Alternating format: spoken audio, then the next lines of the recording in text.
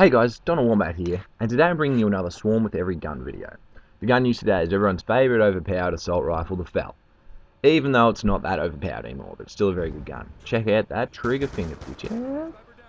That's all I'm going to say about the video and onto the topic of today's commentary.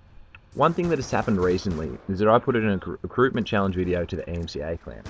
They were originally just a knifing clan, but they're branching out into sniping as well. And I was lucky enough to be successful, and I'm now in the clan as EMCA Wombat. I feel that being in a clan could be a great way to get more of myself really out there, and to grow my channel even more. And that was my thinking when putting in the RC video. I have about 450 subscribers, so when my videos do go up there, it will be putting myself out to more than just my subscribers, which is a good thing. I'll put the link to their channel in the description, and feel free to check them out. The other thing that I wanted to talk about in this video is league play in Australia. This season of league play that is currently going on at the moment is the most that I've played league play in Black Ops 2. I've probably put in about 40 games and I'm in the top 10 of a platinum division.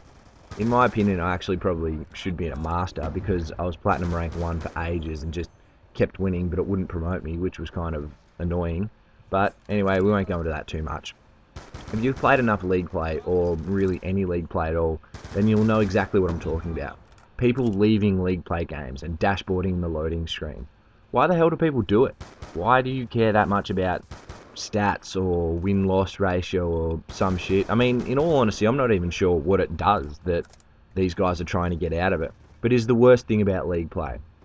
When you're playing competitively, it shouldn't matter stats and shit and all that stuff. It should be just about winning. And if someone leaves the game and it's 3 versus 4, unless you're playing kids with basically no thumbs, then you're not going to win at all. I mean, you've got no chance, basically. Can anyone shed some light for me on why people dashboard games or leave league play? I just can't really get it. This is going to wrap this video up. Leave your thoughts in the comment section below. And as always, if you've enjoyed this video, remember to smack that like button. I've been Wombat. Catch you later.